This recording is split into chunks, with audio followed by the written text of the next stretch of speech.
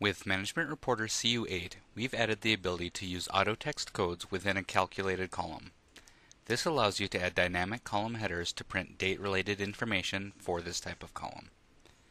This is especially useful for situations where you need to show consolidated information or use a rolling 12-month report and show the calculated year-to-date total. This feature will help eliminate cases where you may need to manually update headers prior to generating reports. Let's take a look at how this report was built. This consolidated report is taking two individual companies and subtracting out the intercompany eliminations from the total.